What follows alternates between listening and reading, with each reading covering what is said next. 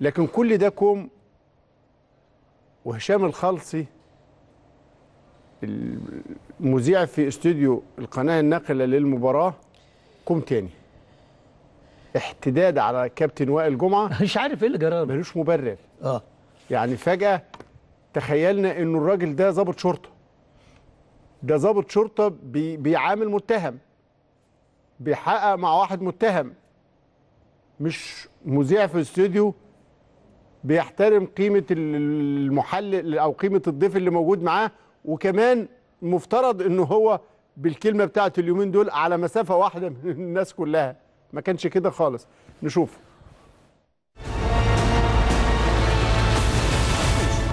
هذا أعتقد وأنه لا يشرف الاهلي نحن كلنا تقدير واحترام للاهلي ولا أحد يشك في هذا. لكن معناها الحكم كابتن جمال شريف يجي يحكي.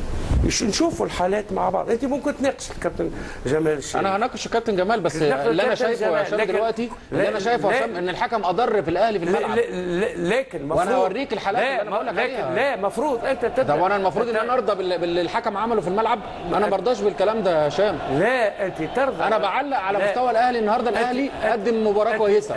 قدم روح قدم جري إنما في أخطاء أثرت على الحكم أنا. في فرصة في. الدقيقة 81 يا سامحني. هشام أنت ترضى ولا ما ترضاش أنا بت- بعلق هذا على أداء الحكم. هذا هذا قرار الحكم. ماشي ما أنا بعلق على قراره. الأخيرة أنا ليا الحق إن. أنا أعلق على قراره. لا لكن لأن قراره أضر بالأهلي في الملعب. مثل ما قلت مثل ما قلت وأعيد وكرر أن الأهلي مثل ما يعرف يفوز لازم يعرف يخسر.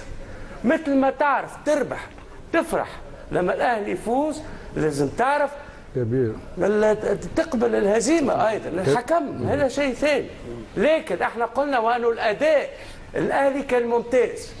يوسف شيبو اعترف بذلك. كابتن طارق قال ده اداؤه ممتاز. يعني الحكم هذا موضوع طرف آخر.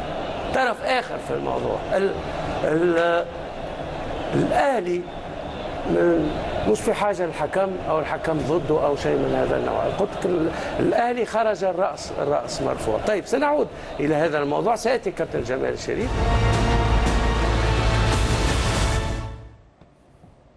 يعني بعد هذا الدرس التربوي من آه، هشام آه، الخلصي. آه. تونسي.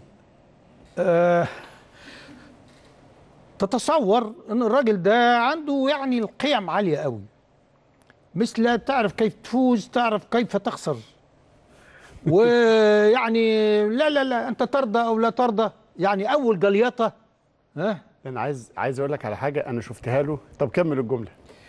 أول جليطه آه. أنت معاك ضيف محترم أحسن لاعب في أفريقيا عدة سنوات في مركزه. وأنت جايبه لأنه عايز تعرف رأيه في الماتشات. يعني لازم يسمعك اللي أنت في مزاجك. عشان يبقى على على هواك.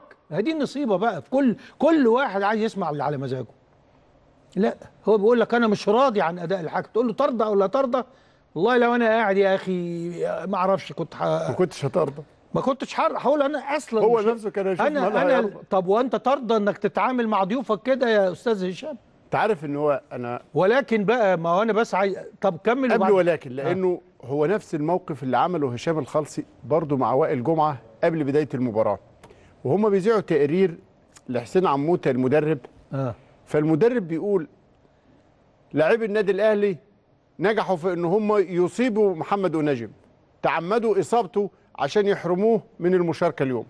ده المدرب قال كده. يعني اتهام صريح للاعب بتعمد الإصابة.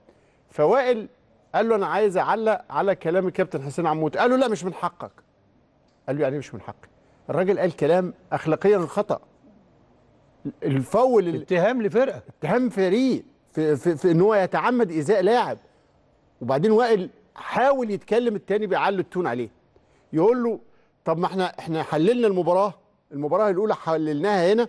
وشفنا إن الراجل اتعور لوحده محدش تعمد ايذائه اداله درس نفس الدرس قبل الماتش ما يبدأ. لا واخد موقف طبعا. واخد موقف بحدة كمان يعني يعني بحدة تخلي وائل جمعة محترم قوي إنه في استحمل وما خدش موقف لأنه بصراحة ما حدش عارف لو حد منفعل وما يتقبلش إنه يقعد في استديو يوجه بهذه الطريقة.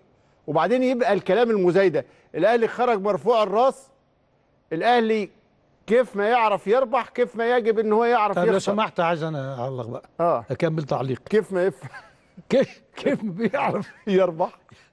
لا يعني هشام الخالصي خلاص إدانا الدرس التربوي والكتالوج إنه بيرفض اللي التحكيم. لازم نمشي عليه عشان نبقى ناس كويسين قوي عندنا روح رياضية.